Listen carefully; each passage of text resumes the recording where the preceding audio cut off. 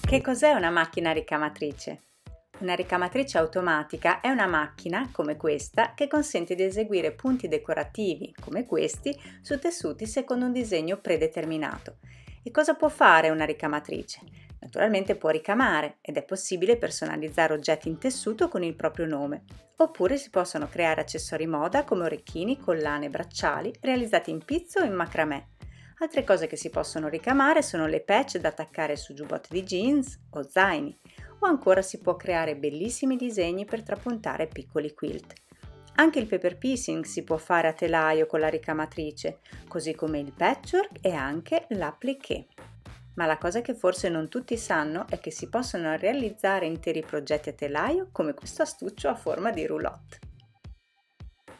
Ma come funziona una ricamatrice?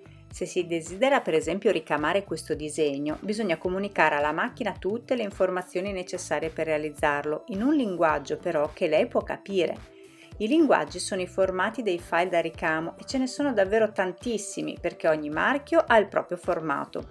Quindi non possiamo prendere un'immagine qualsiasi da internet e inviarla alla macchina, ma dobbiamo avere un file da ricamo realizzato non solo nel formato giusto, ma anche nella dimensione definitiva.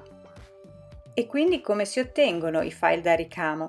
Solitamente le macchine ricamatrici hanno già al loro interno una galleria più o meno fornita di disegni e di alfabeti già pronti da ricamare, se però vogliamo altri soggetti, i modi per ottenere i file da ricamo sono principalmente tre. Si possono acquistare in chiavetta o in file da scaricare, oppure si possono ottenere gratuitamente da molti siti specializzati o scambiandoseli nei gruppi di ricamo. E infine si possono realizzare partendo da zero digitalizzando un'immagine qualsiasi con un software apposito. Vediamo quali sono i software da ricamo. Neki commercializza tre software da ricamo. Uno per principianti chiamato Essential, uno intermedio chiamato Creative e uno avanzato chiamato Pro. Questi software sono tre versioni del programma Drawings 11, che è uno dei software professionali migliori in commercio.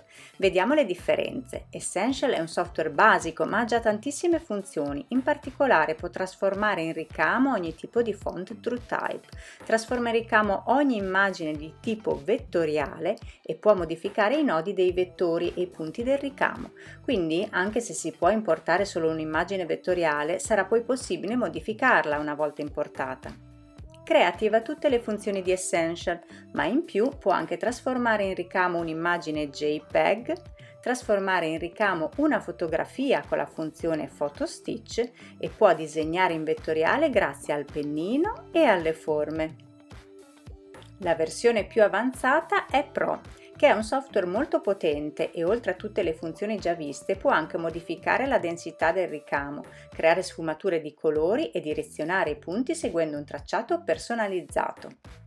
Ma una volta che ho pronto il mio disegno nel formato giusto e nella dimensione giusta, come lo importo nella macchina? Con chiavetta USB, per esempio, i file si devono prima caricare sulla chiavetta e poi si inserisce la chiavetta nella porta USB della macchina. Questo procedimento è utilizzato dal modello Necchilogica NCH01AX e dalla maggior parte delle ricamatrici in commercio. L'altro sistema è il Direct Wi-Fi. Per ora questo metodo è esclusivo del modello Necchilogica NCH05AX e permette di comandare la macchina direttamente da un dispositivo mobile tramite un'applicazione che permette anche di combinare testo e ricami diversi e di apportare piccole modifiche, oltre che convertire i principali file da ricamo. Tutto chiaro?